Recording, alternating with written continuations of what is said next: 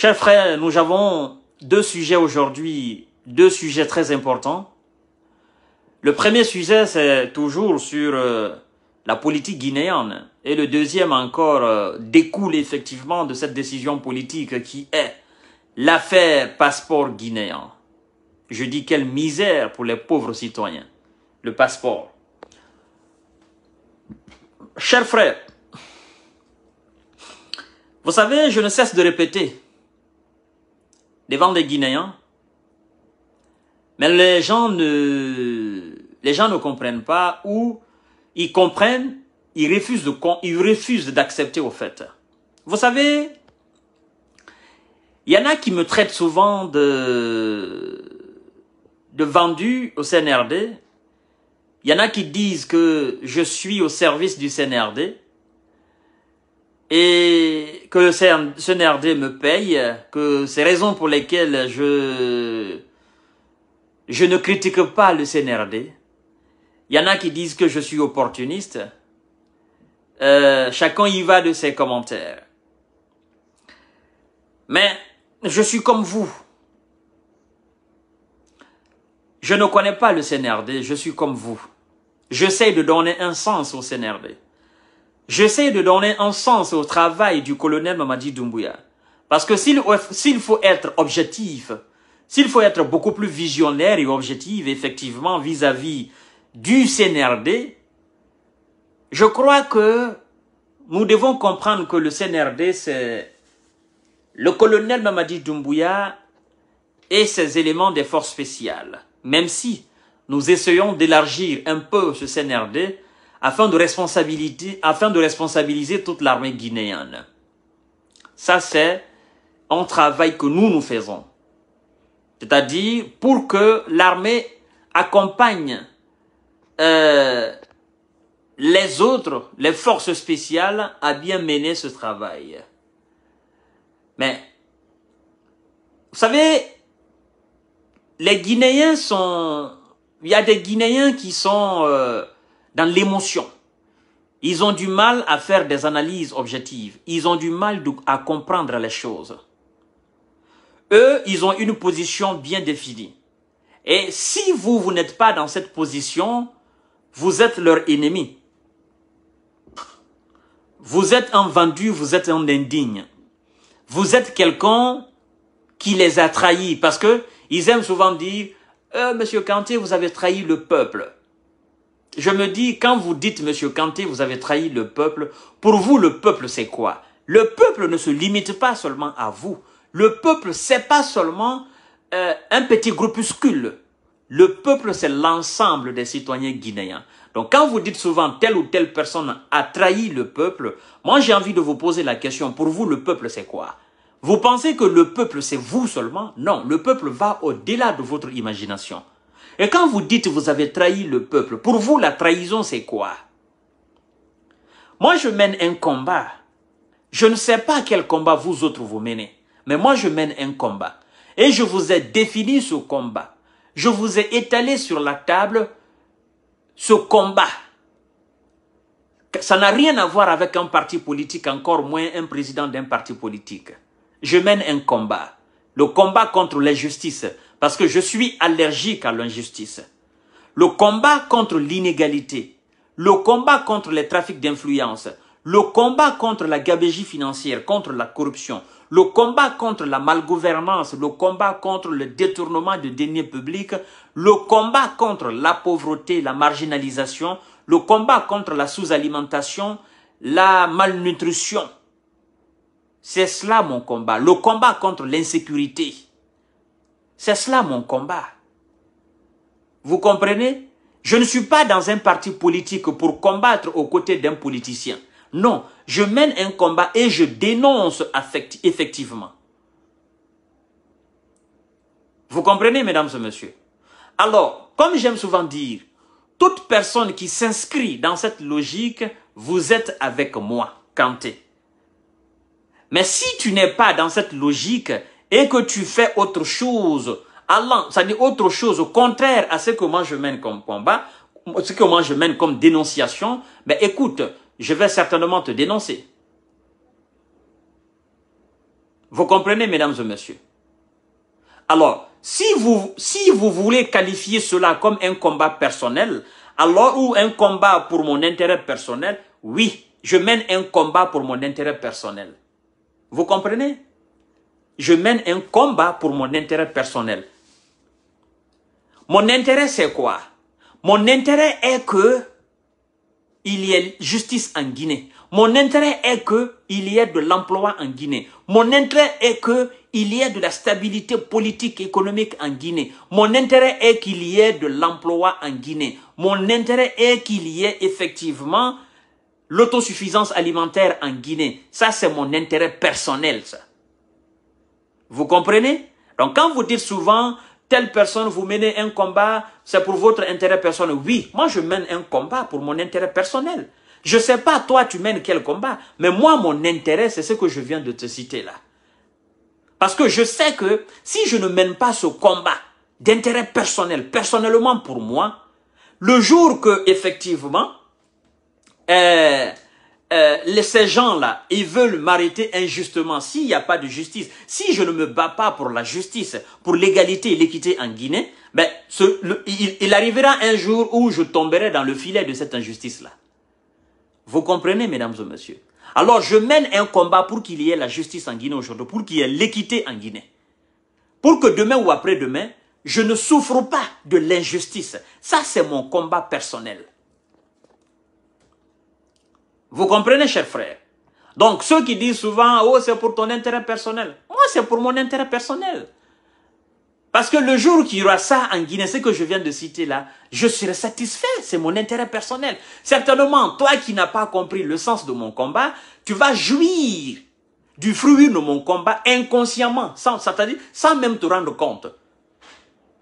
Parce que aujourd'hui, tu es en train de me critiquer en me disant que je suis en train de mener un combat personnel, pour mon intérêt personnel. Oui, c'est pour mon intérêt personnel. Mais le jour qu'il y aura satisfaction, le jour que moi je serai satisfait, le jour que je serai satisfait de mon travail, toi tu jouiras inconsciemment du fruit de mon combat sans même te rendre compte. Et alors toi tu deviendras tout simplement un suivi, un simple consommateur.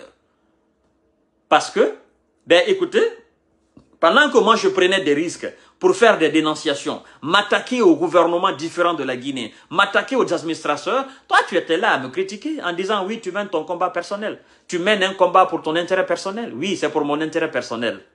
Bien évidemment. Mais gare à toi de jouir du fruit de mon intérêt personnel. Tu vas me sentir comme le soleil. C'est aussi ça le problème. Parce que vous parlez souvent le français sans savoir ce que vous dites. Le colonel Mamadi Doumbouya a mené un combat pour son intérêt personnel. Et c'est pourquoi il est aujourd'hui à la tête de la République de Guinée. Qu'est-ce que vous ne comprenez pas? Oui, le colonel Mamadi Doumbouya a mené un combat pour un intérêt personnel. Pour son intérêt personnel. Il est en train de jouir aujourd'hui de son intérêt personnel. Si vous ne comprenez pas le sens des choses, je, vous explique parce que vous avez besoin d'explications. Et ouvrez bien les oreilles, ouvrez bien la tête. Le colonel Mamadi Doumbouya, en prenant les armes avec ses amis, en allant déloger Alpha Condé, c'était pour, pour un intérêt personnel. Si ça va, ils seront les premiers à jouir de cet avantage. Et si ça tourne mal, ils seront les premiers perdants. Mais, Dieu merci, pour eux, ça a marché. Ils sont les premiers à jouir aujourd'hui de ces privilèges. Parce que ce sont eux qui ont, qui ont aujourd'hui la, main dans l'argent guinéen. Ce sont eux aujourd'hui les premiers décideurs de la République de Guinée. C'est auprès d'eux, tout le monde va faire la courbette pour avoir des postes ministériels. Ce sont eux les premiers à jouir de leur combat. C'est un combat, c'est un combat d'intérêt personnel. Avant tout d'abord. Maintenant, c'est à eux de nationaliser ce combat. C'est à eux de nationaliser l'intérêt. C'est à eux de rendre l'intérêt général. C'est ce que vous ne comprenez pas. Ouais. C'est ce que vous ne comprenez pas. Le colonel Nomadi Doumbouya aujourd'hui, il dit, je donne ce narratif pour les, pour les artistes guinéens. De Kassa jusqu'à Yomo. Posez-vous la question. Qui est-ce qui a voté ce budget pour que le colonel donne cela aux artistes? Ça a été voté où? Dans quelle assemblée? S'il sort des milliards, il donne des sunagati à ces artistes-là. Maintenant, qui a voté ça? Quelle loi? Qui a voté ça? À quelle assemblée? Il sort l'argent là où? Il est à la tête de la Guinée. C'est lui qui a pris le risque, il, il est allé déloger Alpha Condé. Il aurait pu tomber là-bas, ce jour-là. Donc, il mène un combat pour, il a fait un combat, il a mené un combat, premièrement d'abord pour son intérêt personnel. La charité bien ordonnée commence par soi-même. C'est nous autres qui allons aujourd'hui auprès du colonel pour demander des postes. Le colonel ne va pas auprès de quelqu'un pour demander poste. Lui déjà, il a son poste. Ces éléments des forces spéciales, ils ne vont pas auprès de quelqu'un pour demander des postes. Non, ce sont eux qui ont le pouvoir. Nous autres, nous allons auprès d'eux. Donc l'intérêt personnel commence par eux-mêmes d'abord. La charité bien ordonnée commence par soi-même. Vous ne comprenez absolument rien. Quand Selou se lève, il mène le combat politique. Sidi Touré se lève, il mène le combat politique. La charité, là, ça commencera par lui-même d'abord. C'est lui qui va profiter des privilèges de la présidence quand il sera élu président de la République de Guinée. Quand vous dites souvent comme intérêt personnel, intérêt personnel, vous ne savez même pas ce que vous dites, ce que vous avancez. Vous ne savez même pas. Quand les politiciens font la propagande pour avoir le pouvoir, mais vous pensez que c'est quoi? Le politicien, il est égoïste d'abord. Le président de parti politique, il est égoïste d'abord. Pourquoi ces présidents des partis politiques, jusqu'à présent, ils sont à la tête de leur parti? Pourquoi Alpha Condé n'arrive toujours pas à désigner quelqu'un officiellement pour le représenter? On a dit que c'est Kassouri, mais c'est faux. Alpha, Alpha Condé, il reste, il demeure le seul et unique président de son parti. Pourquoi? C'est pour son intérêt égoïste. Mais la différence se situe où? Il y a des politiciens réfléchis, intelligents. Oui, je suis élu président de la République de Guinée. Je suis élu président de la République française. À partir du moment où il est président de la République, lui se dit, moi j'ai plus besoin de m'enrichir.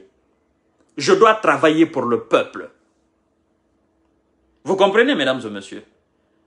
Donc tout individu dans cette vie-là, dans ce monde-là, tout individu mène en premier lieu un combat d'intérêt personnel avant qu'il ne transforme cela en intérêt général.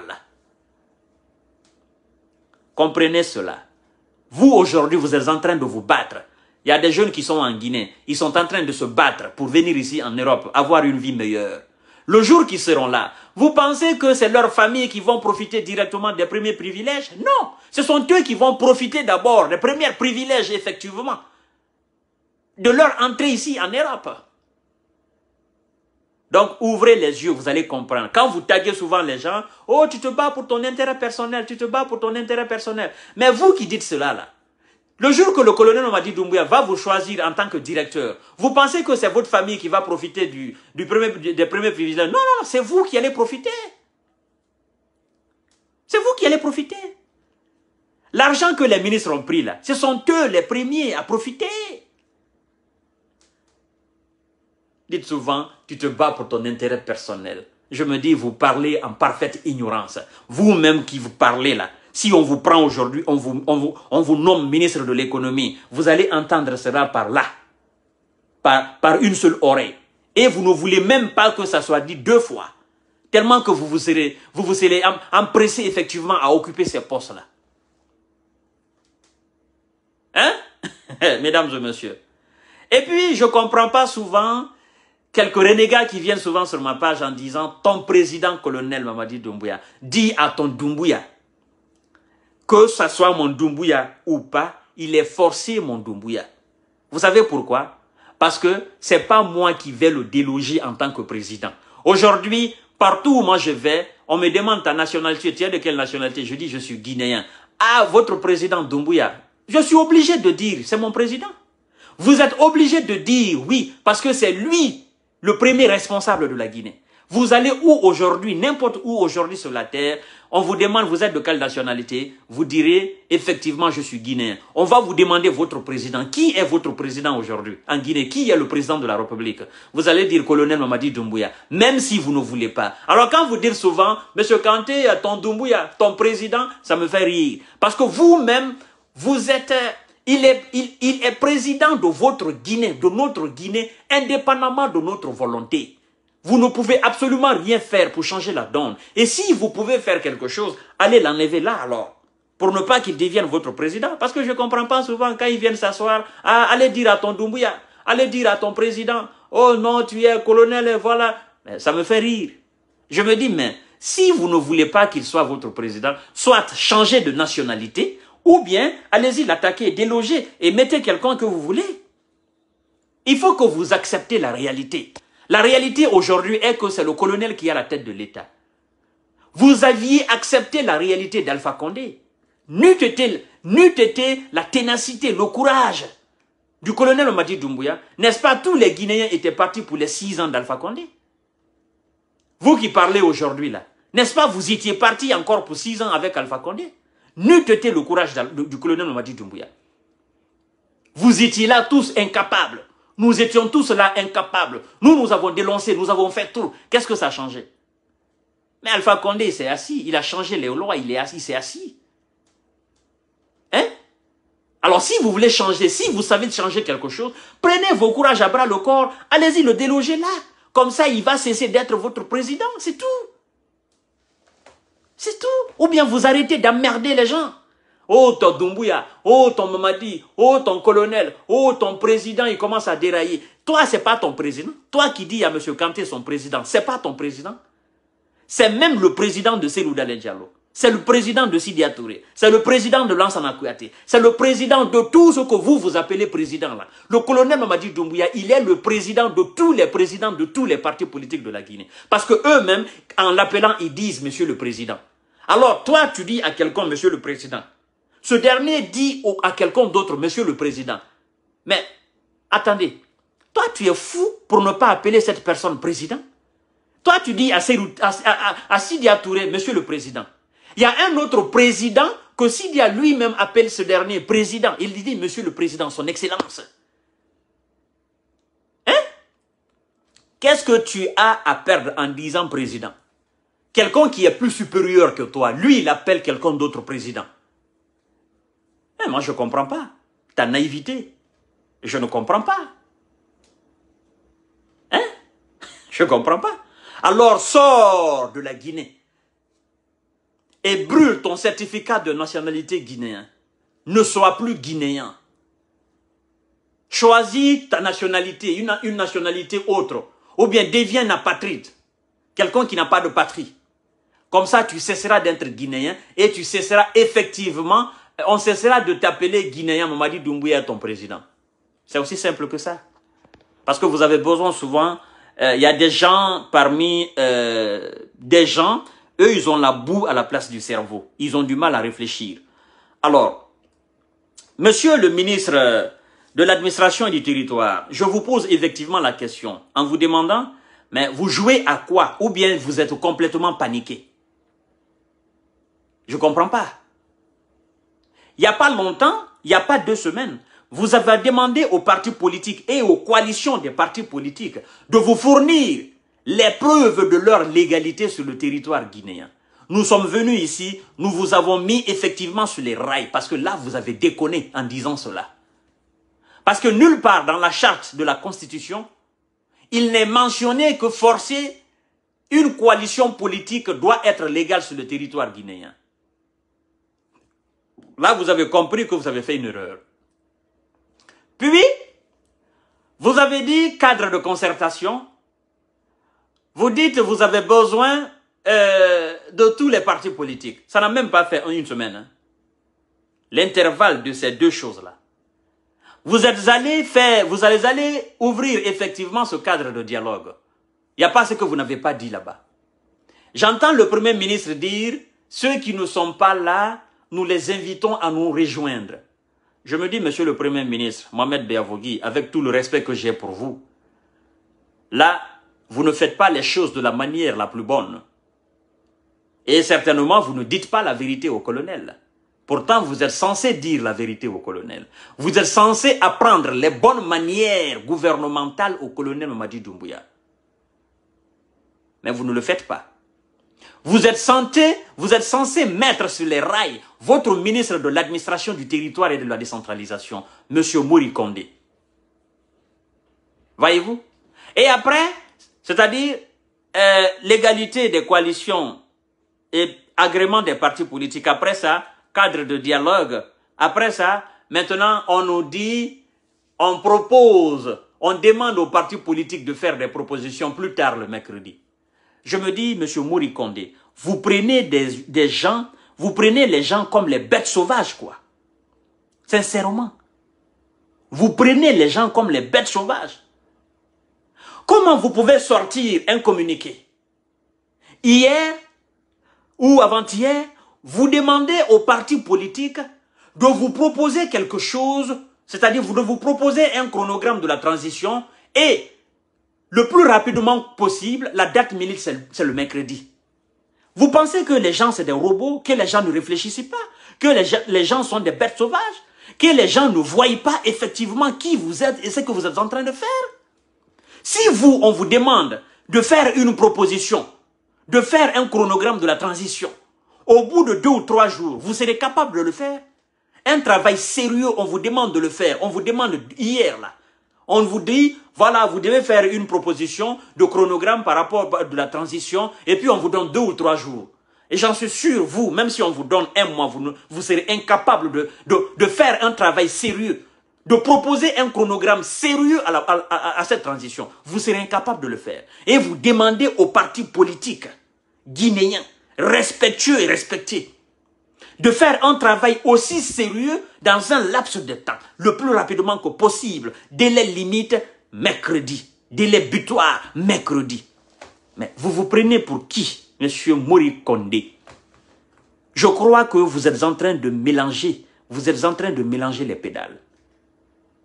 Et si vous êtes paniqué, il faut le dire. Parce que les gens commencent à dire, Oh non, la date butoir de, de, la CDAO pour sanctionner la Guinée, ça approche. Et maintenant, les gens sont paniqués, ils veulent faire les choses autrement. Peut-être que c'est ça. On ne comprend pas, M. Moury. C'est pas comme ça on doit travailler. Ça fait combien de temps on vous demande de vous asseoir avec les partis politiques, de travailler en synergie, en harmonie et en symbiose afin de proposer quelque chose de sérieux pour le, chronogramme de la transition. Ça fait combien de temps? Ça fait combien de temps les partis politiques demandent, ils vous demandent cela? Et vous venez, au bout d'un laps de temps, vous faites trois choses euh, à la volée, à la ramassette comme ça, et puis vous demandez aux partis politiques de vous proposer un chronogramme. Délai butoir, délai limite, le mercredi vous êtes en train, vous êtes en train de brûler cette transition. Vous êtes en train de, de, noyer cette transition. Vous êtes en train de salir le colonel Mamadi Doumbouya. Et si c'est lui qui est derrière ces affaires, je crois qu'il est en train de très mal faire les choses. Mais j'en suis sûr, colonel ne peut pas faire des propositions pareilles. Il vous a nommé pour que vous assumez vos responsabilités. Mais s'il est derrière ce travail mal fait, ou ces travaux mal débutés, je dirais tout simplement que le colonel Mamadi Doumbouya, vous êtes en train de vous faire du mal à vous-même. Vous ne faites pas du mal au parti politique, encore moins de la Guinée.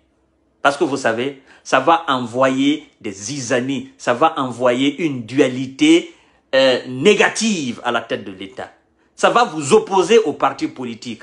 Plus vous allez mal faire le travail, plus les acteurs politiques vont s'opposer à vous et plus le peuple va souffrir.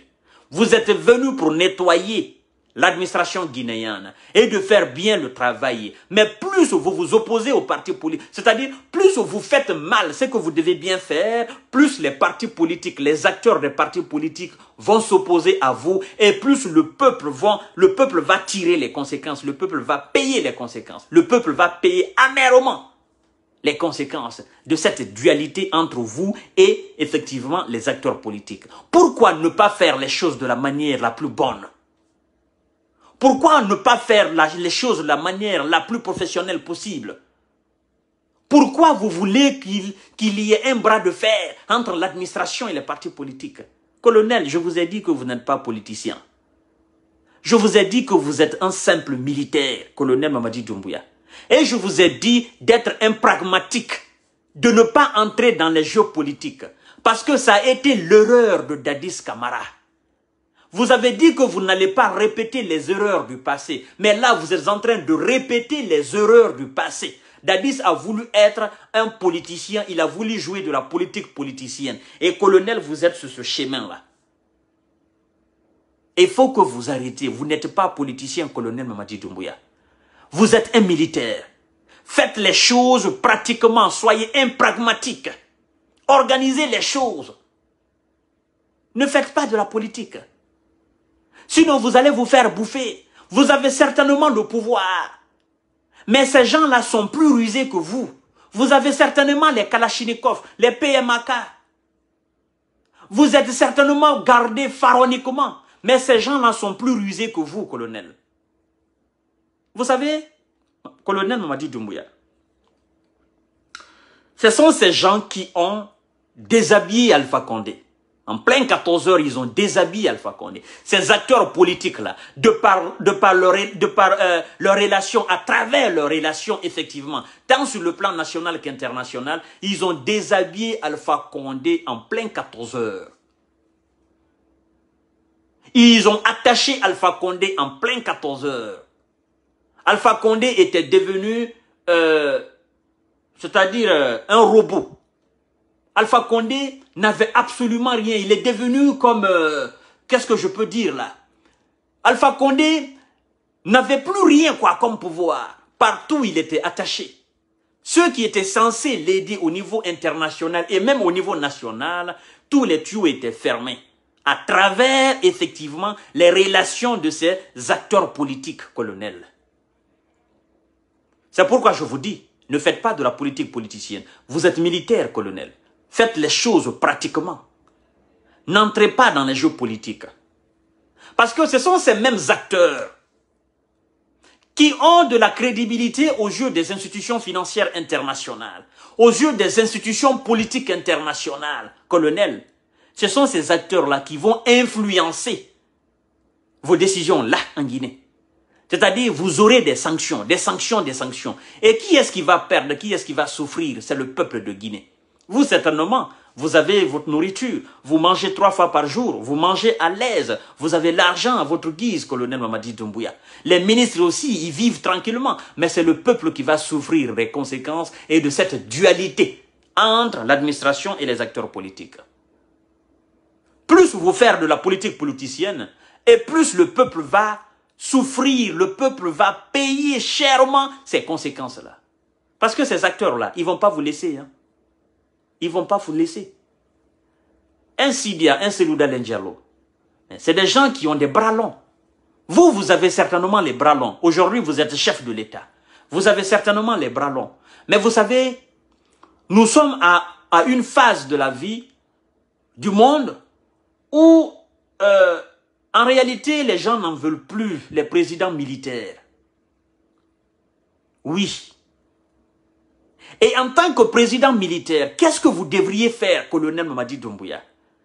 À mon avis, à mon humble envie, vous devriez plutôt vous asseoir avec ces civils. Quand je dis civils, ces acteurs politiques qui n'ont pas détourné l'argent guinéen, qui ont servi le régime, le régime alpha, le régime alpha, bien sûr, ceux qui ont volé de l'argent, vous les prenez, vous les mettez en prison. Ceux qui vont rester, qui sont blancs comme neige, mais vous traitez avec eux, vous organisez des élections entre ces gens, et puis c'est fini.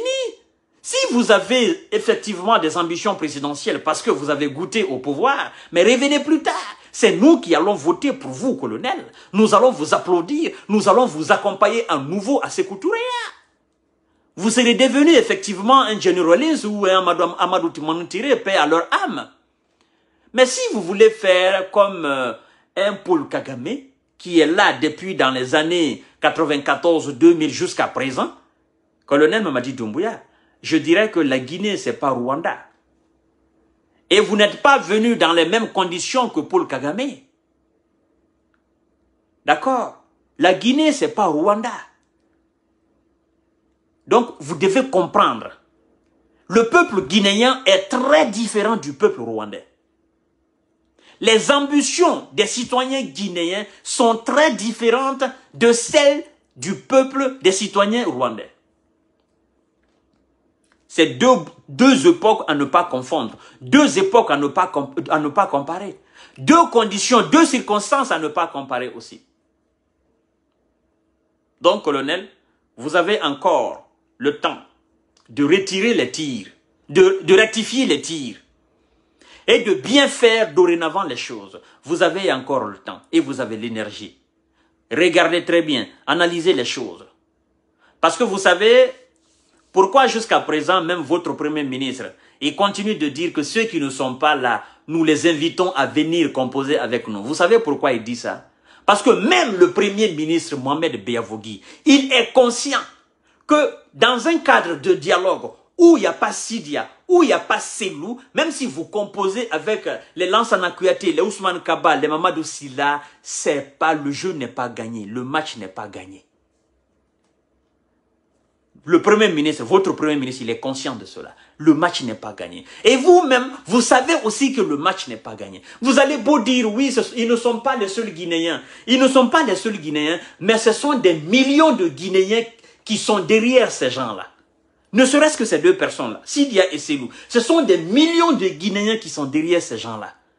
On va beau vous croire que non, ce pas les seuls Guinéens. C'est ce qu'Alpha Condé a essayé de dire aux Guinéens. Ah non, ils sont pas les seuls Guinéens, il y a d'autres. Mais ceux qu'on a appelés sont pas les seuls Guinéens. Ceux qui manquent là, c'est-à-dire si on les retire, si on veut composer la Guinée, sans eux, on ne pourra jamais composer la Guinée. On ne pourra jamais travailler sans eux. Parce qu'ils font partie intégrante de la population guinéenne. C'est ce que vous devez comprendre. Donc, il y a la nécessité c'est-à-dire c'est une obligation même de travailler avec ces gens-là. Qu'ils viennent et qu'ils soient avec vous. Qu'ils travaillent avec vous, qu'ils composent avec vous pour la paix, la quiétude et la bonne transition en Guinée. Et pour la paix, pour la quiétude, la bonne transition et la bonne renaissance guinéenne. Sinon, colonel, hein, le travail, vous savez, colonel Mamadi Doumbouya, comme je vous dis, moi, je communique avec euh, euh, des centaines de milliers de Guinéens qui me suivent, qui m'appellent, qui m'envoient des messages dans mon inbox. Des personnes issues même de la haute société. C'est-à-dire des gens qui sont dans l'administration guinéenne actuellement. Des personnes issues aussi de la bourgeoisie guinéenne. Des anciens officiers. Je suis contacté par tout le monde. Ce que les gens n'osent pas vous dire, c'est moi, Kanté, je, je donne des conseils pour que vous compreniez et pour que vous réagissez. Ces gens-là, ils ne peuvent pas vous parler. Parce que s'ils vous parlent, on vous dira que non, ils ont des prétentions. Mais moi, je peux vous dire, je n'ai absolument rien à perdre. Ce que j'ai à perdre, colonel, c'est quand ça va mal se tourner, j'ai beaucoup à perdre. Parce que ça va envoyer de la de l'instabilité en République de Guinée. Et ce que j'ai à gagner, si ça se passe très bien, ça va amener la quiétude et la stabilité en Guinée. C'est ce que j'ai à gagner. Et c'est pourquoi je suis comme porte-parole de ces gens-là pour vous parler, colonel. Et je vous en prie de m'écouter. Parce que je ne voudrais pas que ça soit trop tard. Vous savez, colonel Mamadi Doumbouya, j'ai appris et je continue d'apprendre. Il y en a qui disent quand je dis, il y en a qui disent, je parle des vrais gens, des vrais leaders, qui disent qu'ils attendent seulement la fin du mois de Ramadan. Et je sais, quand ils disent, nous attendons la fin du mois de Ramadan, nous allons commencer les vrais travaux, ça veut dire, colonel, il y aura une opposition opaque. Ces gens-là, ça sera très difficile de travailler avec eux, de composer avec eux. Et c'est ce que nous, ne voulons pas. Parce que en tant qu'il y a cette opposition opaque, qui ne vous arrange pas encore moins eux, le, corps diplomatique qui est là, où les corps diplomatiques qui sont là, là, en Guinée, français, américains, russes, anglaises, belges et tout ça, là, mais écoutez, eux, ils vont faire des analyses, ils sont sur le terrain, ils diront que ça va pas en Guinée. Quoi que vous fassiez, ou quoi que vous disiez, ils sont là, ils lisent la réalité. C'est pourquoi je vous dis, évitez la dualité avec les acteurs politiques. Évitez. Ça ne sert à rien. Ceux qui vous conseillent là, ils n'aiment pas la Guinée, ils ne vous aiment pas, colonel. Bon sang, bon Dieu, colonel. Vous avez mille chances, mille chances de redevenir président de la République de Guinée. Mille chances. Si vous faites très bien ce travail de transition, ce travail effectivement de, de, de, refondation de l'État, colonel, vous avez encore mille chances de redevenir président de la République de Guinée. Vous avez quelque chose de 40 et quelques années. Mais faites bien le travail, colonel. Ne vous laissez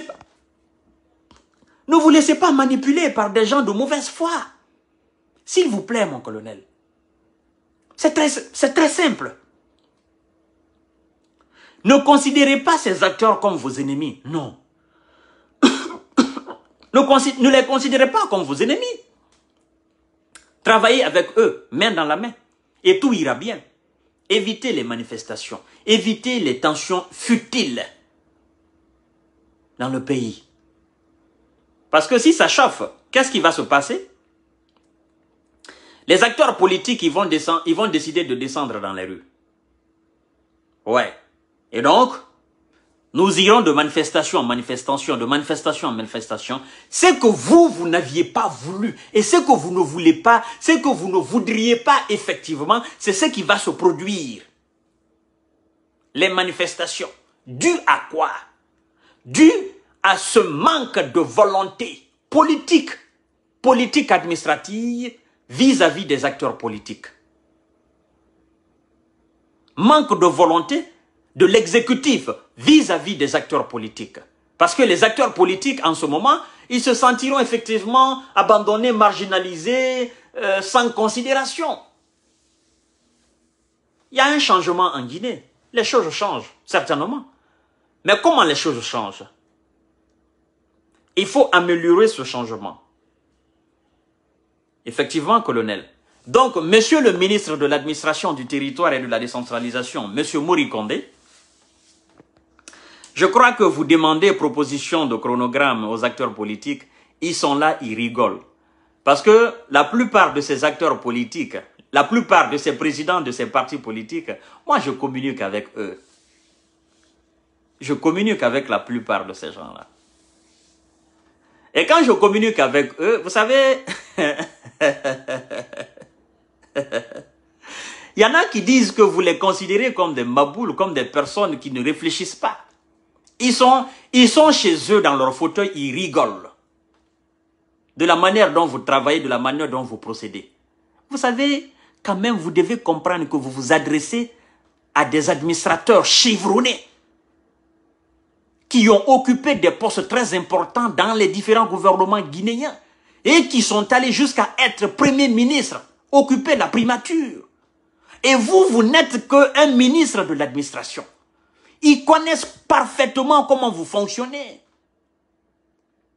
Ils ne vous appellent même pas jeune frère. Ils vous disent notre fils. Notre fils est en train de mal faire les choses. Je ne sais pas il est conseillé par qui. Mais on se demande s'il a, s'il mesure effectivement l'ampleur de ce qu'il est en train de faire et de ce que ça peut amener au colonel comme tension. Voyez, monsieur le ministre, je crois que moi, je vais vous donner une solution très simple. Monsieur le ministre de l'administration euh, du territoire et de la décentralisation, monsieur Mouri Kondé, le colonel Mamadi Doumbouya, monsieur le premier ministre Mohamed Beyavogui, je vais vous donner une solution, je vais vous proposer quelque chose. Parce qu'il ne s'agit pas de critiquer, il s'agit aussi d'être capable de proposer. La proposition est très simple.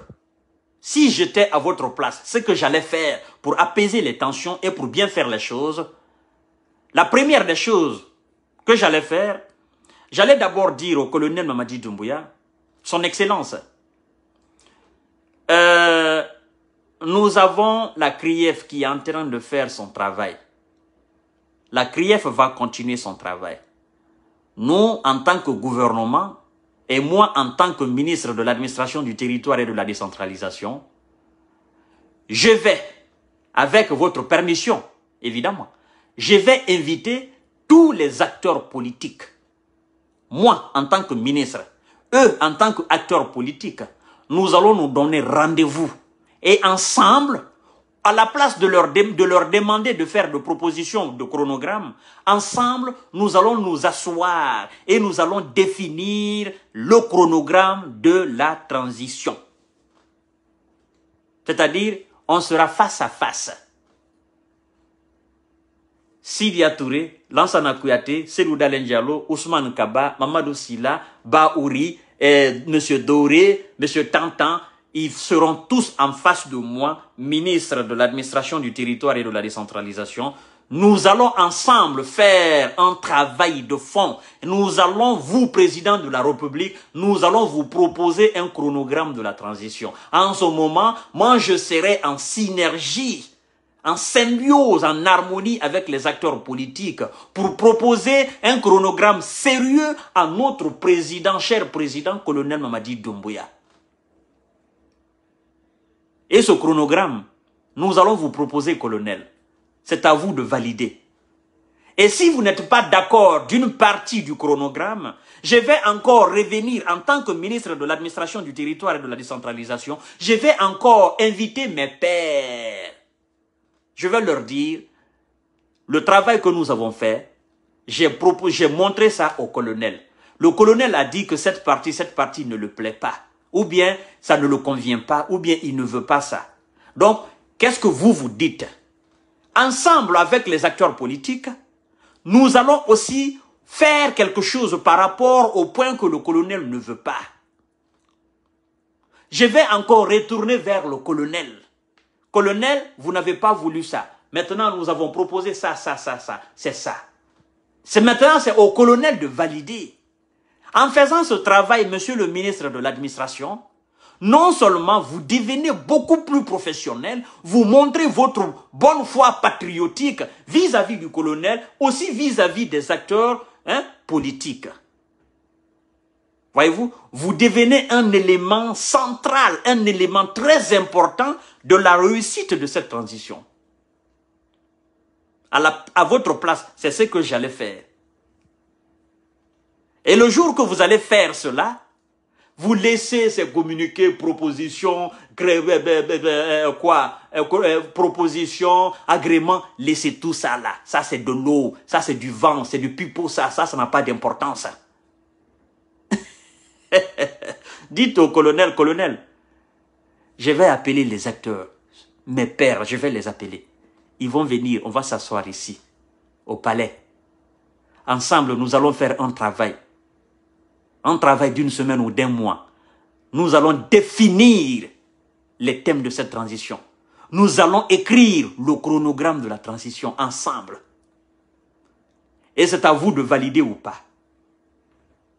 C'est tout simplement que ça.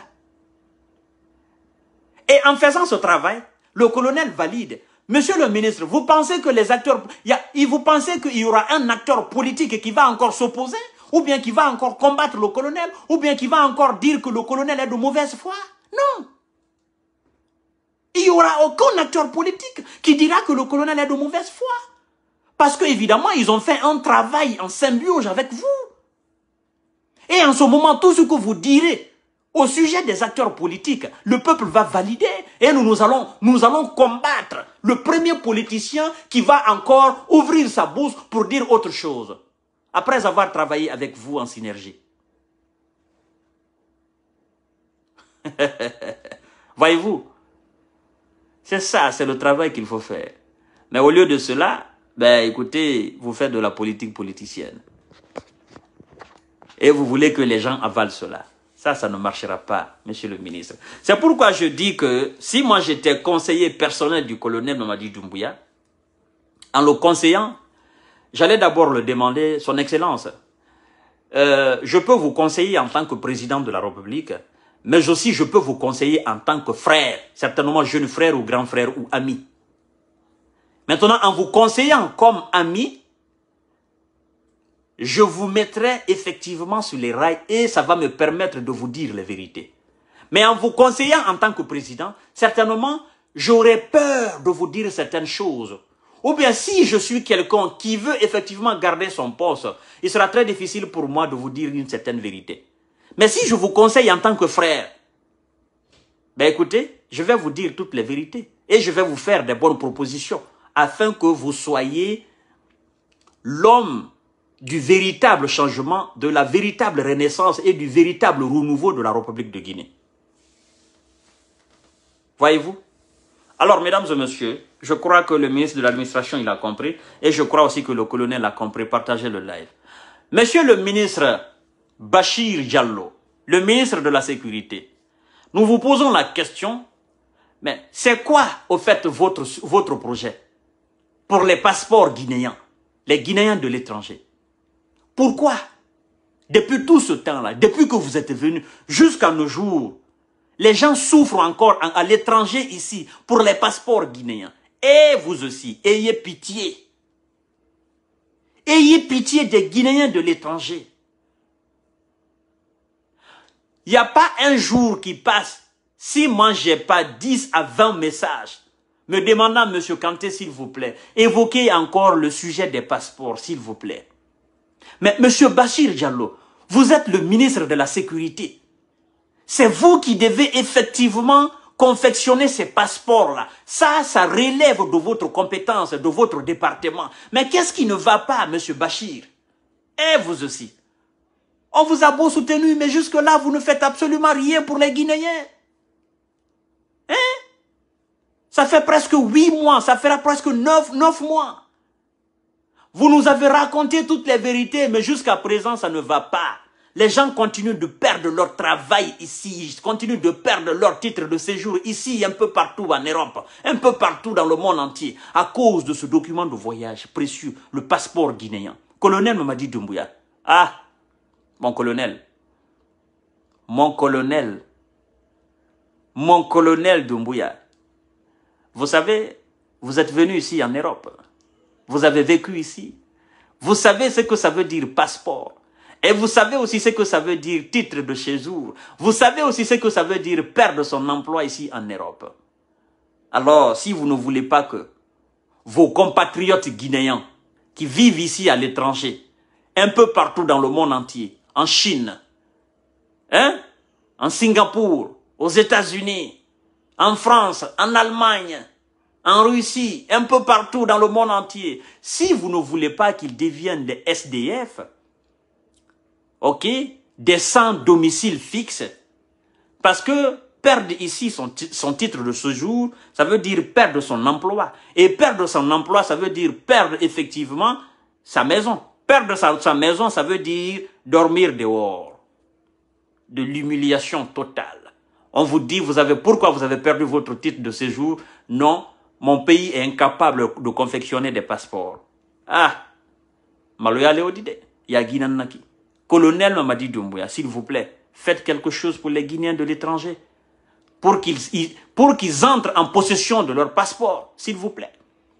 Monsieur le ministre, Bachir Diallo, s'il vous plaît, impliquez-vous davantage pour que les Guinéens soient satisfaits de vous, qu'ils soient fiers de vous, qu'ils soient encore fiers d'être Guinéens.